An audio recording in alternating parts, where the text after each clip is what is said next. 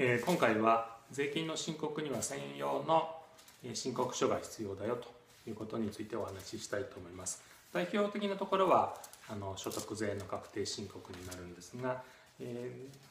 ーどえーと、自分で事業をやられている個人事業主の方は電子申告していないとこういう封筒がですね税務署から届きます。いつ頃でしょうね年末か1月ぐらいだと思うんですがこういうのがドンと、えー、税務署から届きます。でこれの封筒でびっくりしてしまう方も多いんですが、まあ、それはそれとして何が入っているかというと所得税の申告書税金の申告書が入っています。でこちらの所得税の申告書は A タイプと B タイプありましてこれは B タイプですけども A タイプというのは B タイプに比べて簡便ですね。簡単な所得の方給与所得とかえー、と一時所得だったかな、えー、簡単な所得の方で B というのは誰にでも使えるというものになります。でこういう感じで見開きで、えー、3枚写しかな。2枚写し複写というような形になっています。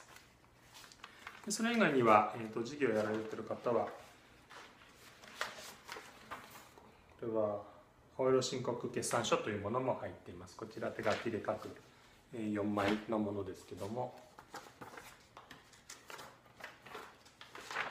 1234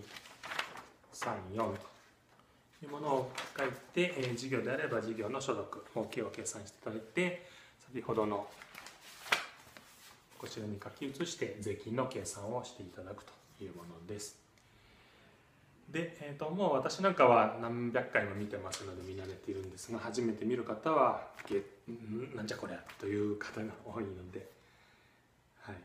のお分かりにならない方はお気軽にご相談いただければと思います。相談してしまった方がストレスもなくて簡単ですね。